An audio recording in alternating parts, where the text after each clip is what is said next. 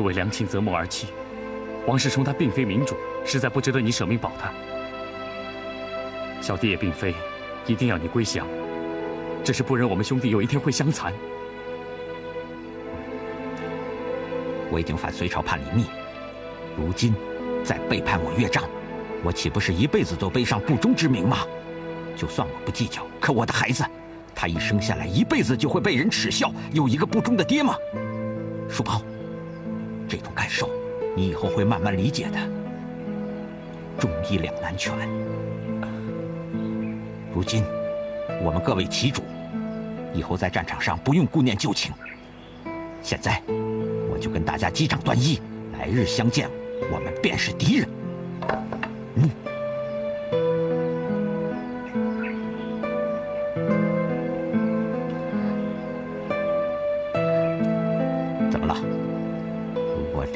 拒绝的话，证明我们以前不是兄弟，无义可断了。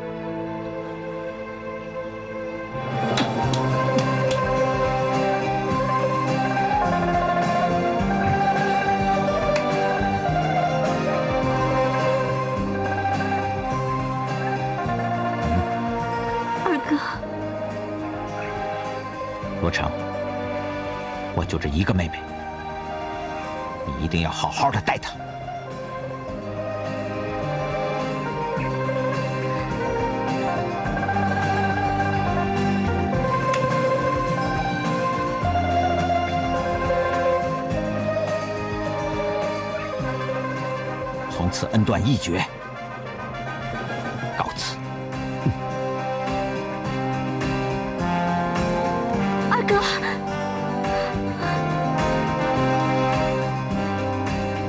哈哈哈哈哈！孟海公，啊快请请请坐。哎呀，孟兄来的真快呀！王兄，洛阳之战如何？惭愧，洛阳之战难于启齿。哎我那兵马不成问题，只是唐军有几员虎将实在是太厉害，很难取胜啊。王兄，据我所知，义薄云天小关羽单雄信是你的女婿吗？哦，属下只有这一员虎将。父王，父王，追杀李世民不成，请父王治罪。我就知道你功亏一篑，带那么点的兵马，怎么能够取胜？我是怕打草惊蛇，所以我才……哎，好了，这也证明你对朕的忠心耿耿。快起来吧！谢父王。你的兵器怎么回事啊？小婿不才，是被尉迟恭打断的。尉迟恭，此人这么厉害？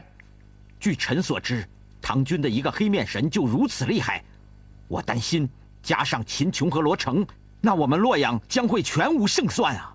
哎，嗯，孟兄，你都听见了吧？王兄，这一点你放心，我带了两名将军过来。哦，白牡丹、黑玫瑰，见过大王。呃，哎呦，孟兄啊！这两位弱女子怎能挡得住唐军大将啊？王兄，你有所不知啊，这两名女将善知男将之心理，曾战败过许多敌将。哦，那这这是大王，我们姐妹一定会全力以赴，至少我们的兵器不会被人折断。你，嗯，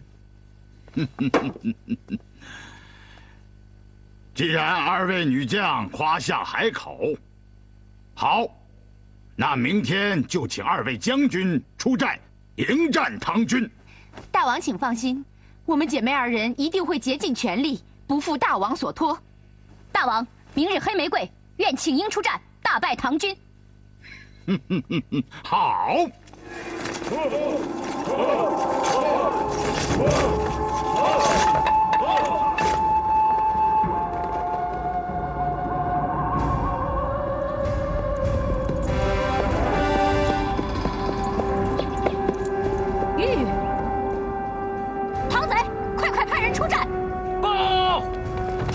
方阵中有一个女将叫阵。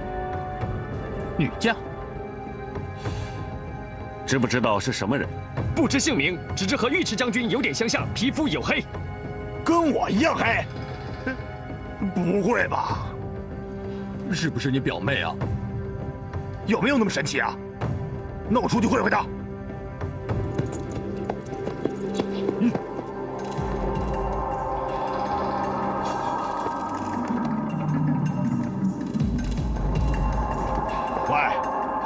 尉迟恭，你叫什么？别人都叫我黑玫瑰。我说黑玫瑰，我劝你不要逞能，女人应该在家伺候丈夫，这是战场，不是你们女人该来的地方。呸！你这蛮汉，别看不起女人。我苦习武艺就是为了让你们这些男人看看，女人可以照样上战场杀敌。什么嫁人是夫，我黑玫瑰才看不上呢。还没嫁人呢，哎，那我更不能跟你打了。你这么漂亮，我不忍心下手啊。你敢取笑我？看招！战！就打仗！战！黑玫瑰，还是别打了！少废话！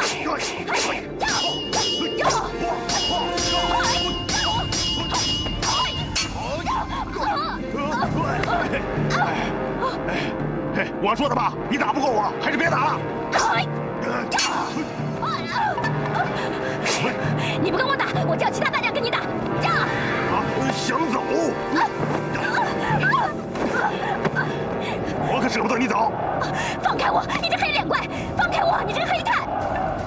样黑，是天生的一对儿。放开我！放开我！放开我！报，尉迟将军战胜，已擒得对方女将回营。哦，既然擒得对方女将，为什么不送到帅帐里来？尉迟将军并未将那女将关押，而是将她抱入自己帐中，礼遇有加。你可曾看清尉迟将军将她抱入帐中是作何表现？天色太黑，看不到尉迟将军的表情，只听见他在唱歌。唱歌？程将军，不，现在有一个重要的任务要交给你来做。什么任务？说媒。说媒？给谁啊？尉迟恭。正是。军师，这到底怎么回事？二殿下，据我推测，尉迟将军今天在镇上的反常举动，一定是对那女将动了心。如果我们促成这段姻缘的话，一来可以打击对方的士气，二来又为我方争得一名女将，岂不是一举两得吗？哼 果然是件美事啊，程将军，那就麻烦你。又是我，这是命令。但是我没一次成功过，次次都失败，为什么总让我去啊？哎，正是因为你有失败的经验，所以才比别人更容易成功。你就放心去吧，如果成功了，算你大功一件。嗯。哎，放开我！放开！放开我！啊！啊！呀！你这蛮汉，我既然被你擒来，要杀要剐，悉听尊便。你把我关在这里算什么？我舍不得打你，更舍不得骂你。只要你高兴，怎么样都行。你说呢？哎呀！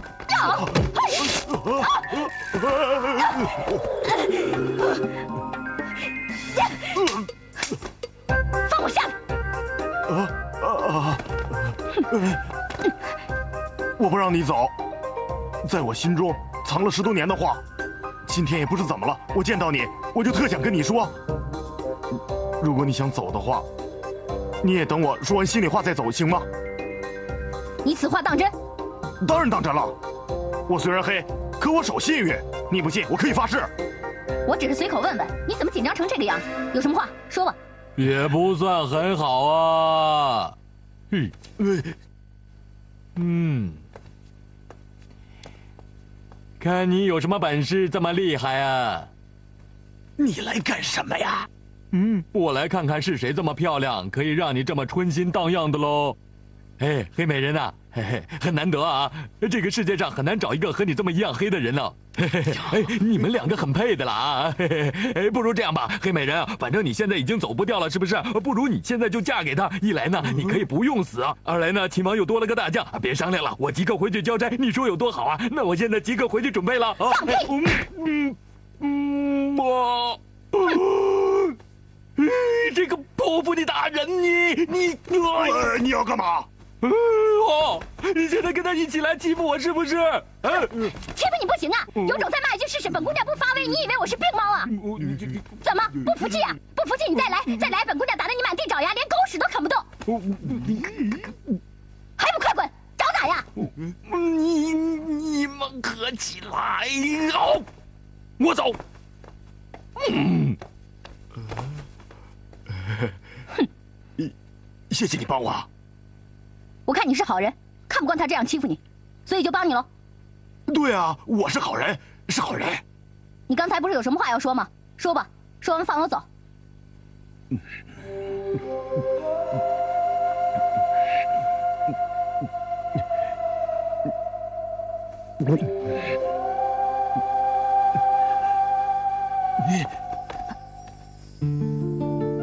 知道吗？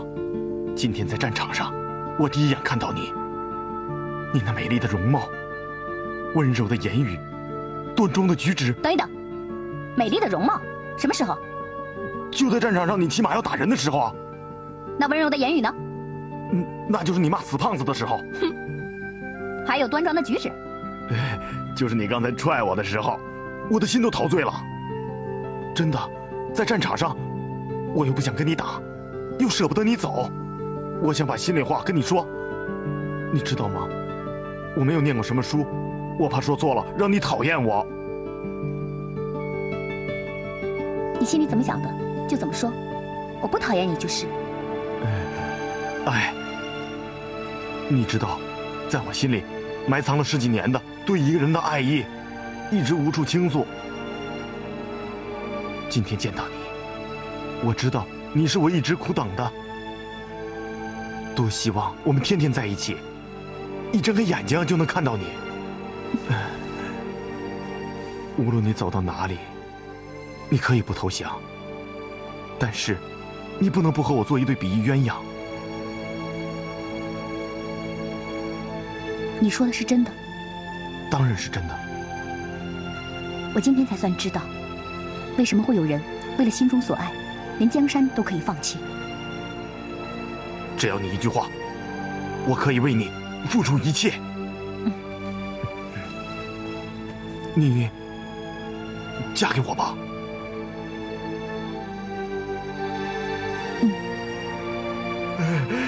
真的？哎呀！我既然已经嫁给你，当然嫁鸡随鸡，归顺唐军。但是我表姐白氏还在孟海公营，所以归顺之事千万要保密，嗯，否则她会有危险的。明日她定来救我，你千万不要伤害她，将她生擒回来，我自会有办法劝她归降。你怎么说怎么是，我听你的。你打了一天累了，先坐下来歇歇。我来给你捶捶背。嗯，看你这人五大三粗的，却比女人还温柔驯服。这样舒服点吗？嗯。哎 哎，叫黑子，快快放我妹妹出来，不然别怪我不客气。你妹妹都答应嫁给我了，你乖乖的跟我回军营，省得呀她惦记你。胡说！你怎么也是一名大唐之将，说话竟然如此无礼！看招！叫！哎呀，又要打架！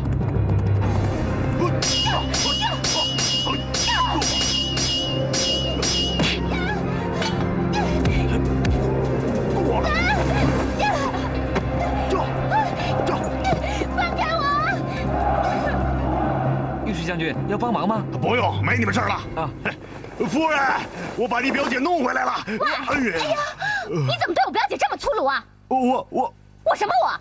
算了，没有关系的。表妹，听说你已经做了尉迟将军的夫人了。是啊，尉迟将军对我真心实意。我觉得呀，天底下再难找到像他这么一个体贴的男人了。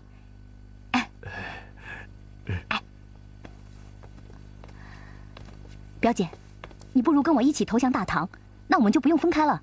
嗯，投降是没有什么问题，可是你我二人从小就有床同睡，吃饭同桌，嗯，而且什么东西都是一人一半。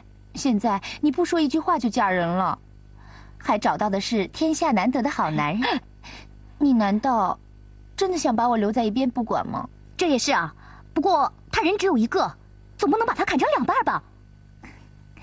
我们一直都是有福同享、有难同当的呀，为什么男人就不可以共享了呢？我倒是没有什么问题。哎，过来！我还不过来？呃，夫人，相公，你说该怎么办吧？嗯你们俩都嫁我啊？嗯，是不是我不够好啊？呃，不不不不，你很好。是不是我不够好？你也好啊。那就定了，一人一半。照规矩，表姐睡左边，我睡右边。各位，今天晚上在我们军营里，为尉迟将军和两位黑白夫人举行大典。他们三人能在此兵荒马乱之中结此良缘，真是难能可贵啊！大家都是性情中人，就不要拘于世俗的礼节。来，大家举杯，今晚尽情的畅饮。来，喝酒。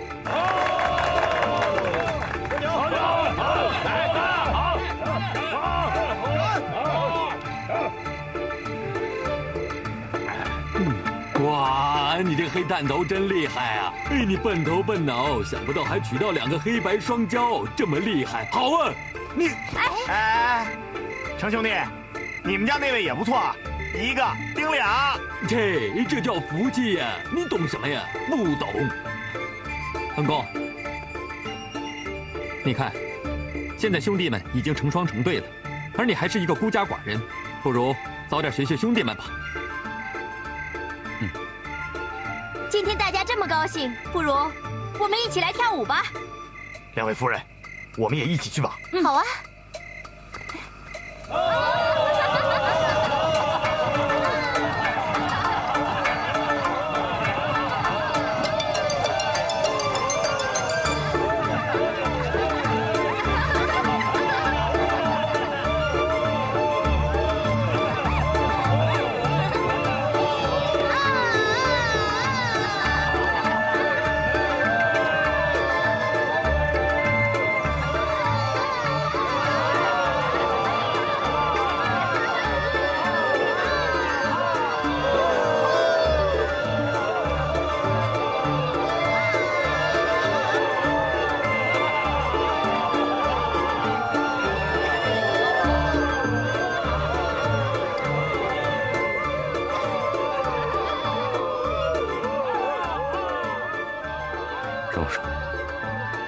你在哪里？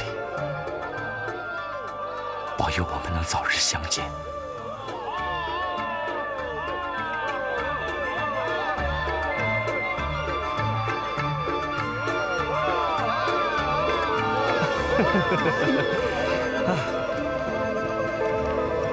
来，坐。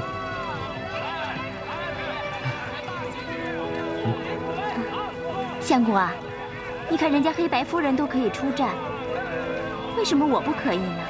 为什么？我也是怕你有危险嘛。再说了，你的武功还真的没有达到可以出战的功力。哼，你就是不相信我，你不让我试试，怎么知道我不行啊？哎呀，你们小两口要聊回去再聊，现在呀，给我跳舞去，走。白夫人，你真厉害，你是怎么当上将军的？是这样，原来我们姐妹二人在曹州啊，好打抱不平。后来碰到了孟海公将军，他呀在营中竟然让我们跟一帮大男人比武，结果没有一个人能赢得了我们。就这样，我们成了他的左右先锋了。嗯，那如果我的武功和你不相伯仲，是不是我也就可以出战杀敌了呢？是吗？原来你也会武功啊！嗯，如果你的武功了得，当然可以出战杀敌了。这样啊，就没有男人敢瞧不起咱们了。表姐，你在干嘛呢？哎呀，你不知道啊，原来罗大嫂她也会武功，她也想作战呢。那好啊，你们组成一个秦营三女将，单凭你们的容貌，不用作战，敌军呐不战而败。哎，你，相公啊，你听到没有？连尉迟将军都这么说。如果呀，我能和白夫人打成平手，你就应该答应让我上战场，可不许再找借口了。好，那还请白夫人手下留情。好说。哎，当心啊，冰冰！哎哎，冰冰，冰冰，冰冰，罗大嫂，快叫军医！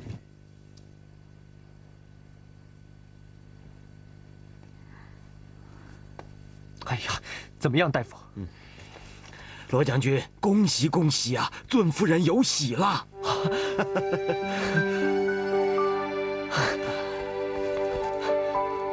冰冰，你听到了吗？咱俩有孩子了。可是，这下我就做不成唐营三女将了。嗨，这个孟海公，他手下有两名女将，夸下海口，说利用男将的弱点可以取胜。你们猜结果怎么样？嘿，这回可真是赔了夫人又折兵啊！连人都被人娶去做夫人了。你们说，这这能不败吗？我们准备了一种秘密武器，所以才来晚了。什么秘密武器？现在，李世民帐下猛将如云，单打独斗必不是他对手，所以我们只有转而打阵型战，方有一分胜算。这样，他们个别大将的优势便会消失殆尽。好，朱灿，告诉我听。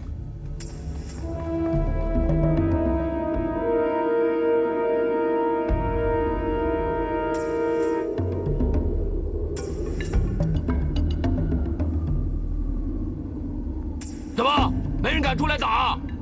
投降啊！嘿，这样。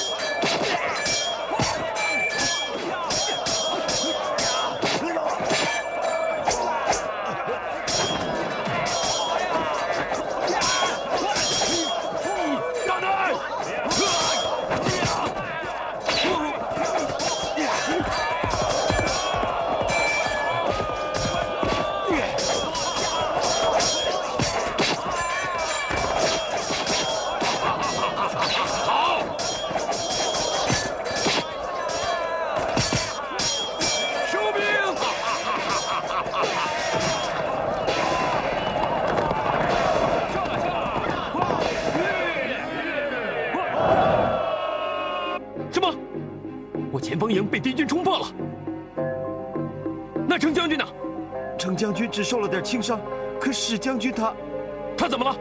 史将军他阵亡了。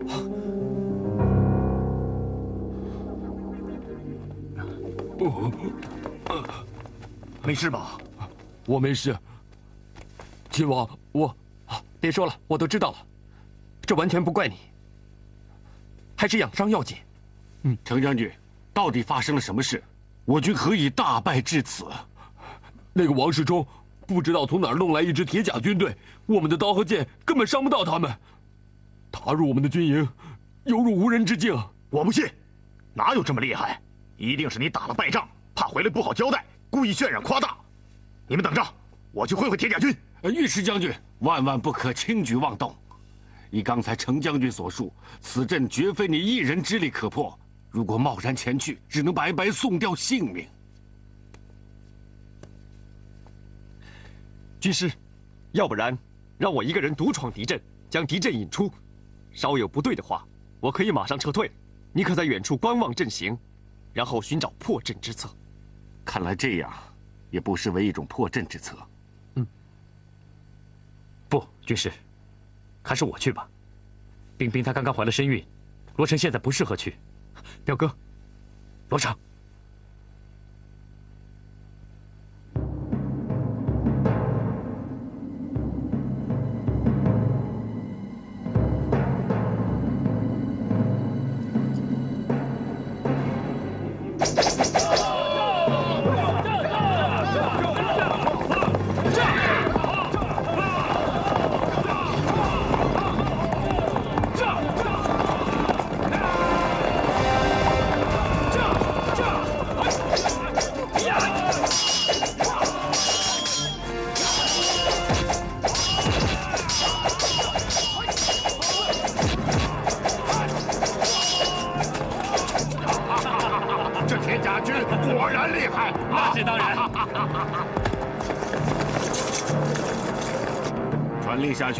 立刻拔寨，退营五里。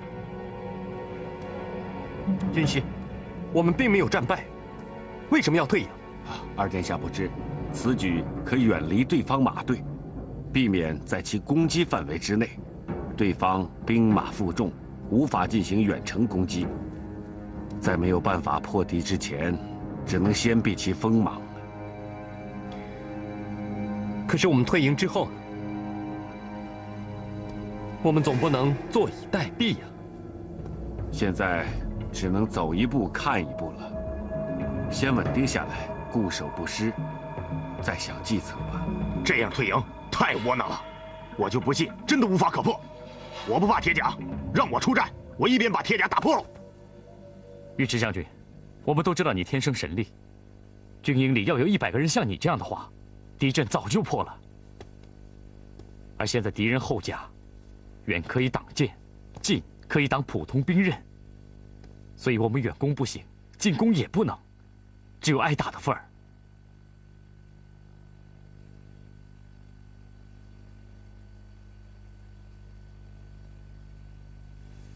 王兄。唐军据我铁甲威力，已退兵五里，太好了！既然如此，为何不一直乘胜追击，直攻唐军中营，一举将其歼灭？你有所不知，铁甲虽然坚不可摧，但是重量比平时重了两倍，不易长途进攻，而且士兵穿在身上，时间一长便会疲劳不堪。可是我们长此僵持也不是办法。我们若能将战线相应前移，便能直捣敌巢，全歼唐军。只可惜时间太短，我们只铸了十几套的重甲，而且铁甲军所用马匹也需十分健壮才行。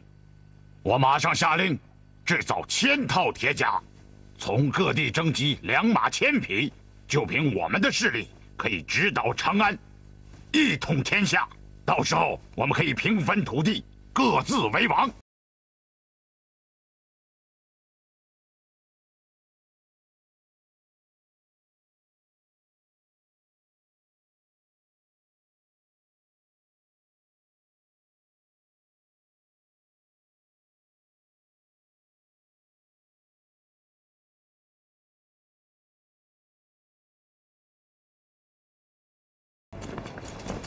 罗将军，啊，你在这儿发什么呆呀？没什么。哎呀，太热了，这盔甲呀，罗将军小心中暑。哎呀，我不陪你了。哎呀，热死了。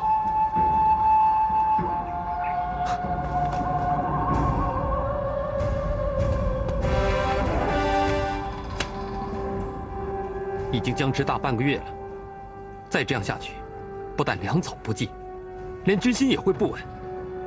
我更担心的是，敌人也闭门不出，再赶住更多的铁甲，增加雄师的人数。等他们准备好了以后，一定是步步紧逼，将阵线不断前移。到时候无论我们怎么退营，也于事无补了。难道就真的没有办法可想吗？臣倒是有法可守，但是无法可攻啊！我有方法破阵了。诸位将士，明日一战对我们关系重大，如果失败，那收复中原将会无望。之前努力会功亏一篑，所以，我们必须得胜，明白吗？明白。军师，下令吧。是。程咬金、尉迟恭听令。末将在。命你二人明日率领刀斧手，在洛阳城外一里布阵。是。贾抚顺，末将在。你率兵带同砍下的尖木，在刀斧手后面。另派四名副将率领步兵准备攻城。是。明日一战，以我挥旗为号。不可妄动。是。另外，明日大暑，让你们的士兵每人背一袋梨子，以备解渴之用。是。一袋不够吗？够了。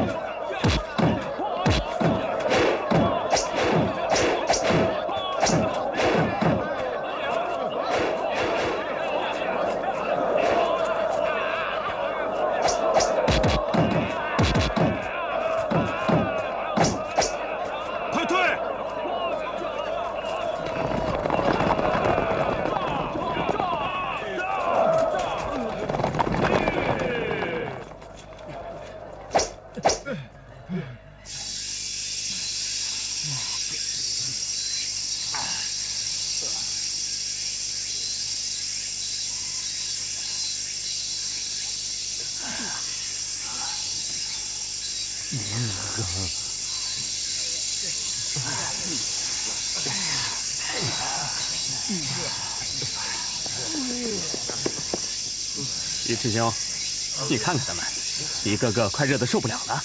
哼，还是军师聪明，我们早做准备了。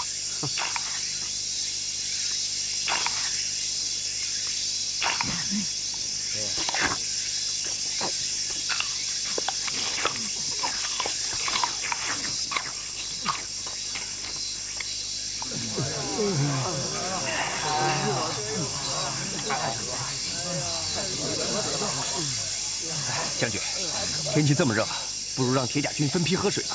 好，传令下去，把水分给铁甲兵。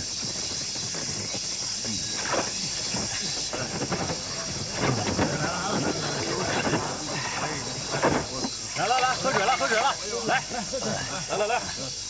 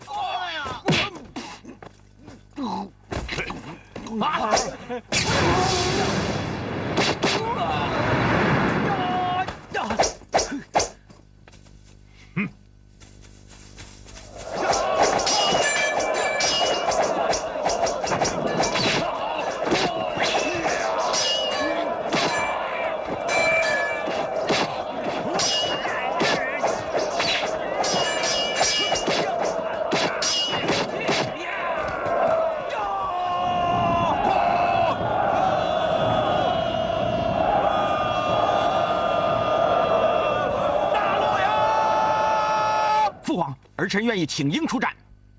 你一个人出战又有什么用？不是白白送死吗？为了洛阳，我就是粉身碎骨也在所不辞。不行，留得青山在，不怕没柴烧。快快备马，咱们一块逃走。那那莹莹怎么办？哎呀，我的贤婿，莹莹，我早就派人把她送走了，你还等什么？快走，走啊！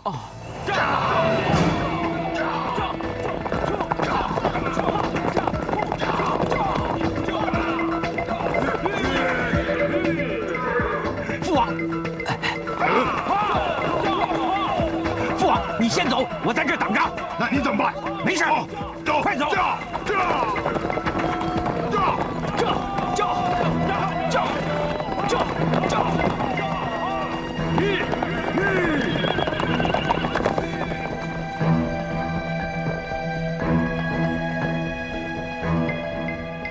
二哥，你别再执迷不悟了。王世充大势已去，你何苦再保他呢？不如归降我们大唐吧。你们少废话，想抓王世充，除非从我的尸体上过去。来吧，二哥，既然如此，那我就得罪了。你们冲过去，切记不可伤害单将军。哥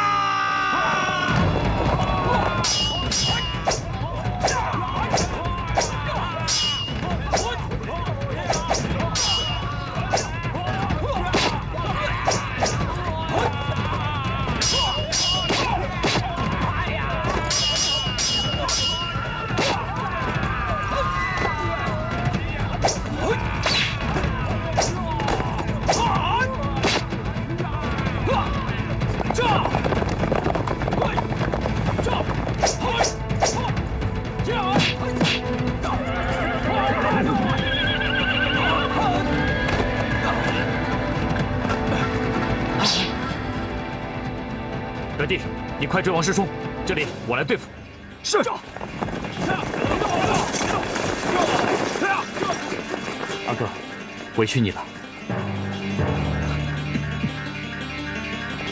驾！驾！驾！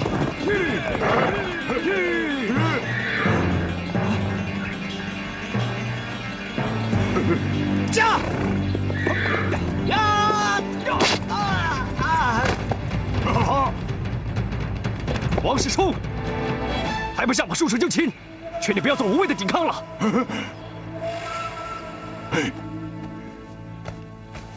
王世充谢秦王不杀之恩，朱灿谢秦王不杀之恩，孟海公谢秦王不杀之恩。好了，你们退下吧。传，单雄信。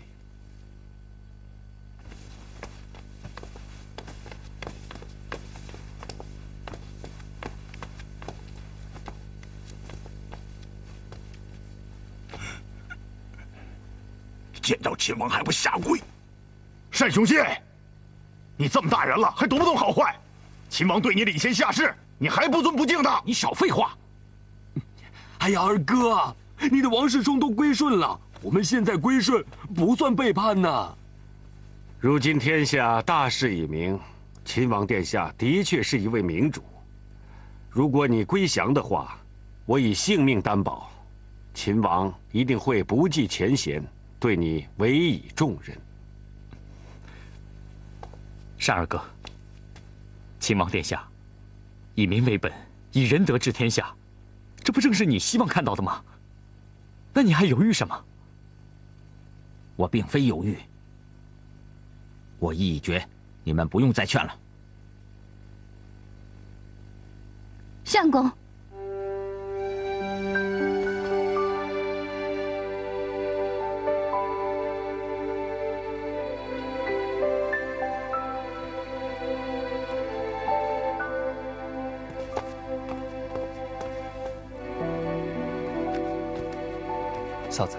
嫂子，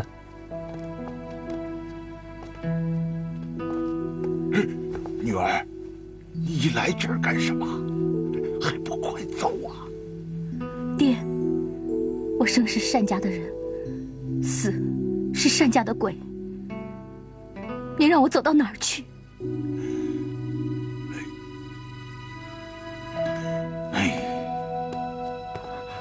嫂子，你还是劝二哥归降大唐吧。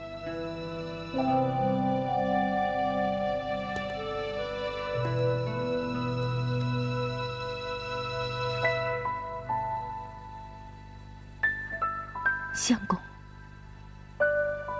大局已定。为了我腹中的骨肉，你就听我一句，降唐吧。但是我在关帝神面前立下誓，我不报杀兄之仇，我誓不为人。如今被俘，要杀要剐随便，但让我归降李渊这个狗贼，我怎么对得起我死去的兄长？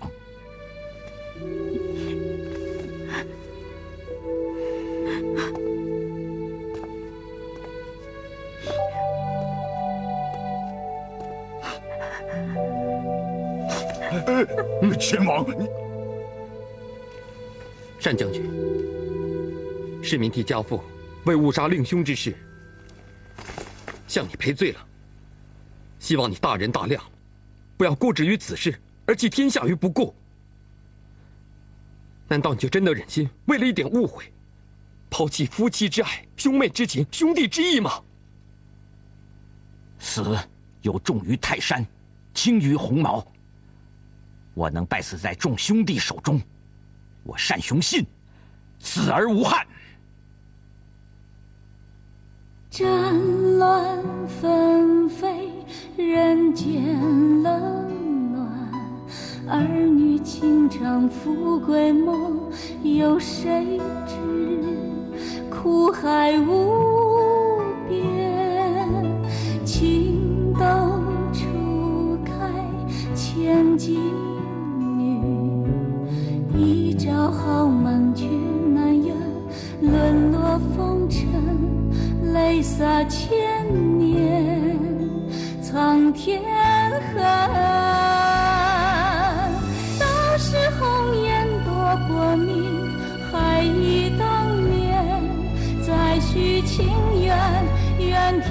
家用太平，再爱一面面，